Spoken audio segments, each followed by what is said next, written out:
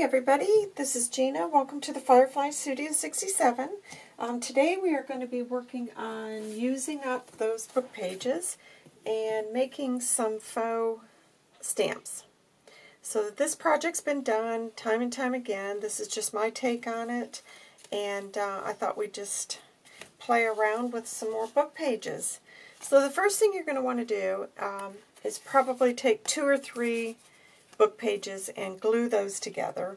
Um, I've used three because these were kind of thin book pages. So glue those together, and you can just use a glue stick for this, but make sure you get it uh, glued all the way to the edge. And then you're going to want to come back with a postage stamp um, die, or you can just um, take some of the um, scallop or, you know, the uneven um, scissors. You could do that. If you don't have that, don't worry. You can just cut out a square and then just kind of go along the edges just to give it, you know, the look of a of a postage stamp. So don't don't stress out if you don't have the um, the die. So I have went ahead and cut out two of those ahead of time so that you guys wouldn't have to sit here waiting on me. And then I can show you up close. I've just done some layering of more book pages and then stamped and then I took a couple of the little butterflies that I had cut out and then backed them with some Irish linen thread and this is some old vintage lace. So um, let's just get going here. So the first thing I've got is, you know, these pages that come in the Edith Holden book. I really like those, but again, if you don't have this, just find something that's a little bit different, a different font to what your base is. You know, you're just building up some layers. Um, they're very easy to do, but they, they are a lot of fun, and uh, with everything going on right now, it's kind of nice to have a really easy project so we're not getting too stressed out.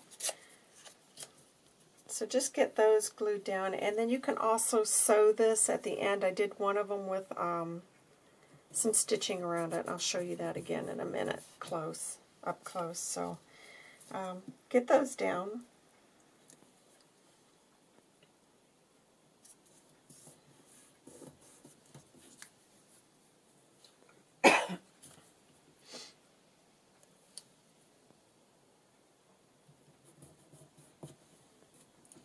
And then um, I've got some more, um, these are the pages that I worked with the other day on the masterboard. So these are left over, so I'm just going to carry on using these because um, I want these to be kind of shabby chic. And I like this green. I'm going to just tear it and, uh, you know, keep it the size that so it won't cover everything. You don't want it covering up all of it.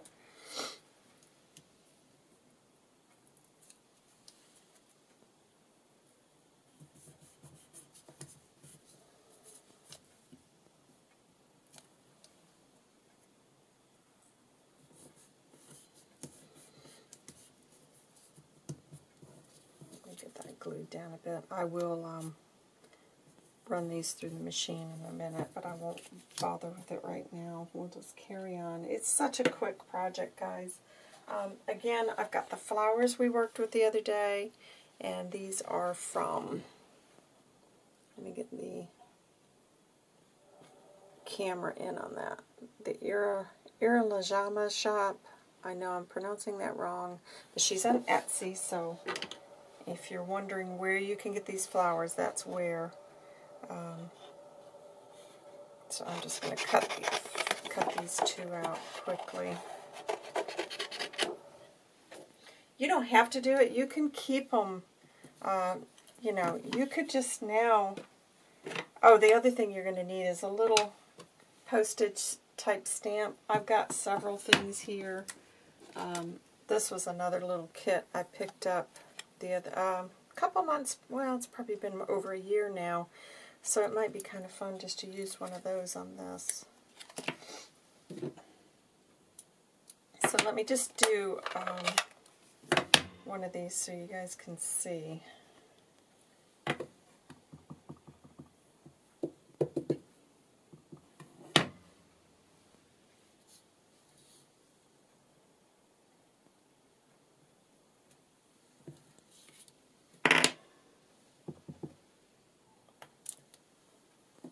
And then I'll take this one on the stamp. And I'm using Stampin' Up! Early Espresso. I'm not a fan of black, so I, I usually tend to use this. So, as I was saying, you could at this point just stop. I always like to have something that's got some dimension, and it usually ends up being butterflies. Um, you could use fussy cut flowers. Let me see if I got a small enough one. I mean, that one's pretty big, but you could put those, but like I said, I just prefer to have uh, something that has got some dimension to it, and then awful, it will also give you the chance to put some fabric or lace or um, twine behind it. So just really quickly, let me cut these out. We'll do these, and then these will be done, and you'll have those in your stash already. They're just nice. Uh, you can use them as little tuck spots or add them to a journal card. So it's nice just to have a few of them done in advance. So I hope everybody's okay. Um, I think we're all going to probably be watching a lot more videos movies and things in the weeks to come, so I hope that you'll stay tuned and I'll try to keep I'll try to keep some ideas coming up. I'm trying to aim to put out videos on Tuesdays and Thursdays, guys, but um, that won't always, you know, if things come up, I might not be able to stick to that schedule, but that's the way I've been trying to do it. Um, so fingers crossed, you should be able to look forward to that. Okay, so we've got, I've got those cut out. Let me just grab a little bit of lace.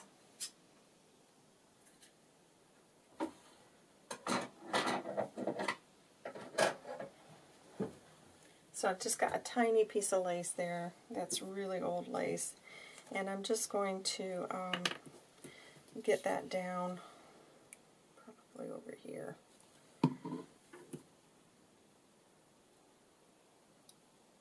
Just want to bunch that up a bit, and then I'm going to add this little butterfly. And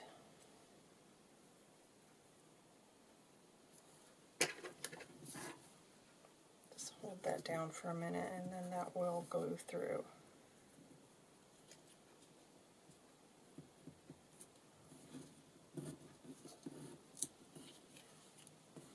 And then this one, I'm just going to take some of the um, Irish linen thread and just put a bit of that behind.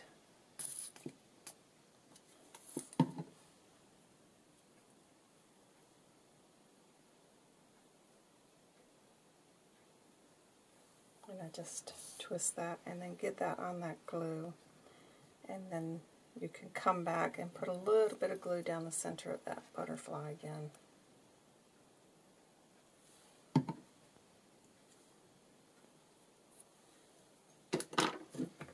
And get the lid on that. My, I've noticed my throat has been acting up with this um, Fabri-Tac. I've been using a lot of that lately, and every time I do, it um, starts irritating me, so I'm going to have to be more careful with that glue.